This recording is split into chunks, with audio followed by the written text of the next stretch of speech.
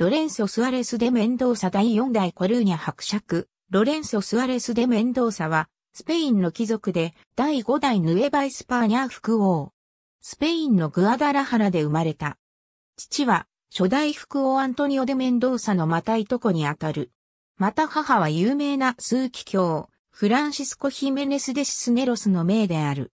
神聖ローマ皇帝カール5世のイタリア戦争やチュニス征服に参加した。フェリペ2世の時代には、フランデレン地方の反乱鎮圧に参加した。1580年、フェリペ2世によって、ヌエバ・エスパーニャ副王に任命され、同年10月4日にメキシコシティ入りした。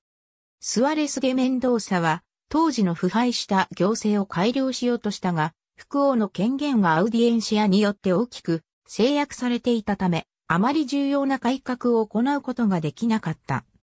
副王はスペイン王に対して観察官を送ることを要求したが、すでに老齢だったスアレス・デ・メンドーサは観察官が指名される前の1583年に没した。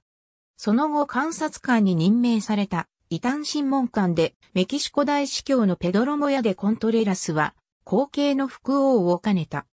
スアレスでメンドーサの言った最も目立つ業績としては商業に関する裁判を行うメキシコのコンスラードの設立がある。ありがとうございます。